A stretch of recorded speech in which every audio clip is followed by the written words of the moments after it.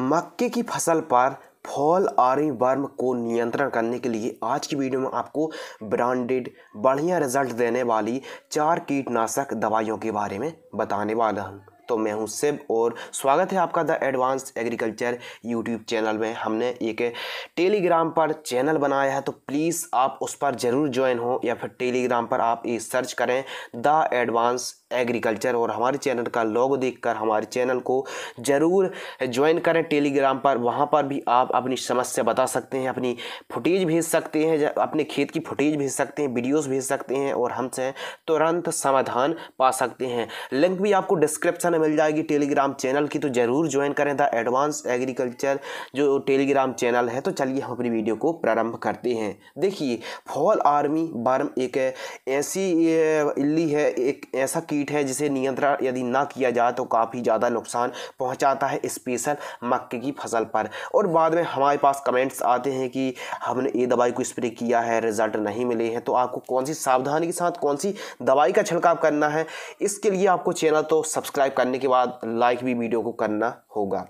तो देखिए, fall are बर्म को नियंत्रण करने के लिए डाउ एग्रोसांस की डेलीगेट इंसेक्टिसाइड आती है, सजेंटा कंपनी की एम्पलीगो आती है, आदामा इंडिया कंपनी की प्लेथोरा इंसेक्टिसाइड आती है और एफएमसी की कोराजन आती है। हमने ये चार दवाइयों को सेलेक्ट किया। सबसे पहले बात करते हैं। देखिए, फॉल आर बर्म को नियंत्रण यदि आप नहीं करेंगे तो आपकी उपज उत्पादन में ज़रूर कमी देखने के लिए मिल सकती है। हो सकता है आपकी फ़सल बहुत ही कमज़ोर पड़ जाए या उत्पादन कम हो जाए। डाव एग्रोसांस की जो डेलीगेट इंसेक्टिसाइड आती है, इसमें स्पाइनोटोरम ग्यारह दशमलव सात परसेंट, जो कि एससी फॉर्म में आती है, अस्सी एम आपको एक एकड़ पर छिड़काव करना है। जो मैं आपको यह दवा बता रहा हूँ, न केवल फॉल आरी वर्म को नियंत्रण करती है, बल्कि सभी प्रकार की फ़सलों पर लगने वाली इल्लियों को, ए टू जेड इल्लियों को यह नियंत्रण करती है। आप बोलेंगे, ये थोड़ी महँगी है। अब रिज़ल्ट आपको अच्छा चाहिए, हंड्रेड परसेंट रिज़ल्ट चाहिए तो आप स्प्रे कर सकते हैं, वरना आप सस्ती दो से तीन बार भी करेंगे तो नियंत्रण नहीं कर पाएँगे। बात आती है कि पैसा पूरा लग गया और काम भी ना हुआ तो आपको एक बार ब्रांडेड स्प्रे करना है, बढ़िया आपको रिज़ल्ट मिलेगा। बात करते हैं जो अदामा की फ्लेथोरा आती है, जिसमें नोवालोरॉन पाँच दशमलव पच्चीस परसेंट और इंडोक्सा कार्ब चार दशमलव पाँच परसेंट जो कि एससी फॉर्म में आती है, इसको भी आपको यानी अदामा इंडिया कंपनी की फ्लेथोरा इंसेक्टिसाइड को 350 ml एक एकड़ पर छिड़काव करना चाहिए प्रति एकड़। 150 से 200 लीटर आप पानी तो लेते ही लेते हैं एक एकड़ के लिए तो 350 ml आपको छिड़काव करना है अदामा इंडिया कंपनी का फ्लेथोरा इंसेक्टिसाइड को।